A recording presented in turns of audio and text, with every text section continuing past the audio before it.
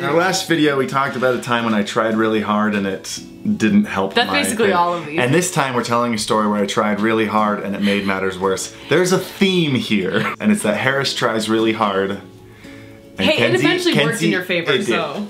And it pays off in the end, but it really made the road bumpy. yeah, halfway through the last one, I it like something I don't know what it was, but it like rung a bell. We were just saying that we have so many of these stories leading up to. And then I was like, oh yeah, and then there was the time I threw that surprise birthday for for you. So this is the story of when Harris threw me a surprise birthday party. timeline here. This is two months after the Pitch Perfect. Pitch Perfect thing, Which was our last video. and about three months before the Valentine's thing. Like this wasn't like a couple months where this happened. This is like nine months of me trying really hard, Yeah. Not So- getting anywhere. So our pitch perfect, our first like date was I think like September, early September, and then my birthday is the end of, of November. Uh, Harris asked me what I was doing for my birthday, and November 26th, by the way. yeah, and I said. I don't really know, like my friends all have boyfriends and they're super busy. They were in the thick of like college, like studying for midterms and like going home for Thanksgiving and it was just kind of a chaotic time. I was like, I think that my friends have like either forgotten or just like we haven't talked about any plans.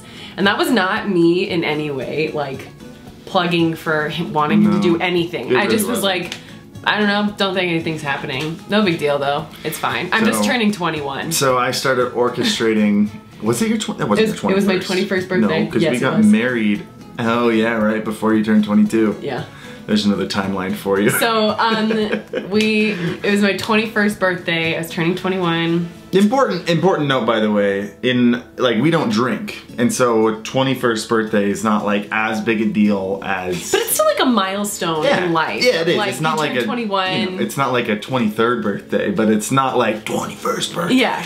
I had no plans. And Harris, So I light bulb went off. I had gotten to know a couple of her friends, and I called up one. I called up Tyler. Called up Tyler. I was like, "Hey, I'm gonna throw Kenzie this party. I don't know anybody else." I put Tyler in charge of the balloons and the guest list, and I was gonna take care of everything else. I asked him to go out and get balloons, expecting like a room full of cheap balloons, and he went out and bought like three premium balloons. yeah, like through like mylar, And like, like nice he pulled them out of the car. I was like, "What is this?" Tyler, if you're watching this, we love you. How did you even know Tyler? I don't even know. I don't remember. He I like- never met Tyler because I remember I met him the first time that night. Yeah. I think I got his, I think I got it through Allie. Yeah, so weird. So think Allie was like, talk to Tyler. So let me like set the stage. Like a side note is that like we were like really close friends, but it was like my life and all of my best friends and my world, and then it was like you, very removed from all of that. Like you'd never met any of my friends. My friends like vaguely knew of you, and that I like worked with you, and that you had tricked me onto one date, and that was like all they knew about you. yeah, And I had a really great reputation. and um, Killing it.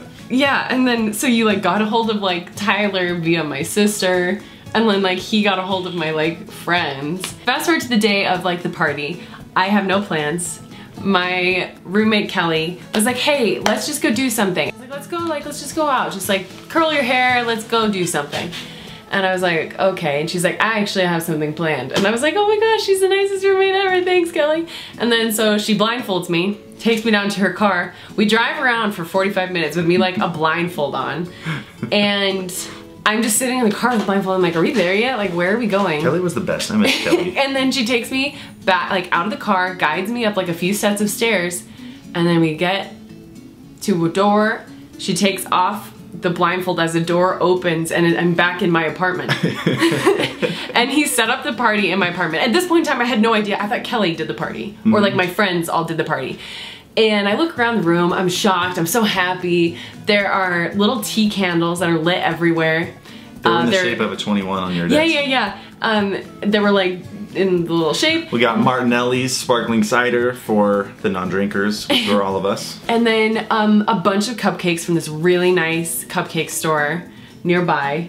And Oh, yeah. then like all like my seven best friends, um, plus Tyler and his three balloons. And then Harris was just there. Three balloons. and then just Harris was there. Like Yeah. it was kind of like a conglomeration. I, I will say it was a weird conglomeration of people because like you were there, Chris was there, yeah.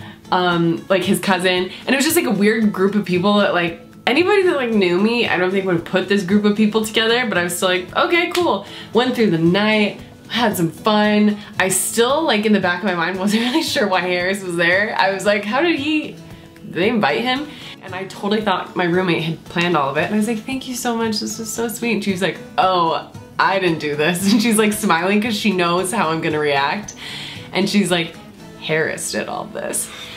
And I immediately, like, my whole attitude about the party changed. I was like, why? What is happening right now? And, like, it stopped being, like, a fun party and more of, like, an anxiety, like, ridden thing for me. Kenzie's because I was a like, super rational person, by the way. Not an emotional no, person But like you find out that a dude that you're not into throws you a surprise birthday party, it like makes you feel uncomfortable. I felt so uncomfortable. I was like, how? I started putting pieces together. I'm like, how did he get a hold of all these people? He has never met most of these people. Like, what happened? And Effort, effort happened. the party's winding down. I pulled Kelly aside when there's just a handful of people left, and I was like, whatever you do, do not leave me alone with him. I'm so sorry. But at this point, I was like, not like, you were still like one of my best friends, but I was like feeling weird about it. You just had done this out of like the blue, and I was like, did he not get the hint from the That's hand the holding? point of a surprise No, but, like- They're supposed to come out of the blue. No, I know, but like, did you not get the point of the hand holding charade? it was like happened? two months later. But the nothing had changed. you flirted with me so much. I flirted with everyone so much. I flirted with everyone. There's something here. But I love you. Do you remember anything else from the party? Like anything? I else? remember I remember being also uncomfortable a little bit. I'm not a very social person. I knew one person there. And so I was just kind of there quiet in the corner the whole time at the party that I threw for Kenzie. My heart, my heart, my heart. Oh. I'm pretty sure the night ended just kind of what's the word I'm looking for? Un uh, uneventfully. Like Kelly I said thank you? Oh, I'm sure you said thank you. You were always sweet. I just don't even remember. But I had I told Kelly not to leave me Kelly alone with you. out. I don't think I like lingered, like trying to get you alone. You didn't. I No, think you I just didn't. wanted to get some time with you, and you were with all your best friends, so I didn't get a lot of time with you. And um, anyway, I eventually left, and uh, we never spoke of it again. That's the end of the story. I hope these don't This is a depress you guys. one. They should give you hope and not make you think that I'm a horrible person. These, I'm painting these, by the way, these stories as how I saw them in the moment. Looking back, like, the sweetest thing in the whole world. I cannot believe you did that. You know what we need to do though? You like went out and you like, didn't you ask? I feel like you asked Allie what my favorite like cake flavor was, and you got like, oh, I'm sure I did. and like you got like the best cupcakes. Like he didn't get like store bought cupcakes. He like went to the store and like ordered There was like cupcakes. a cupcake store here in Utah. They're- those exist everywhere. Oh, do they? yeah, but they're more expensive. They're like they're like it's like three four bucks a cupcake, and you had like just Couple a couple, I think. dozen. No, no, I got like six of them. no, you had at least twelve Okay. because I ate cupcakes for days after that. Okay, maybe I got 12. Um. Anyways, and it was just so sweet and. My you know, heart hurt. You know what we need to do to make the guys who are in my situation feel a little better? What? The next story we need to tell is the one when you tried to kiss me and I turned you down. Yeah. that needs to be the next one.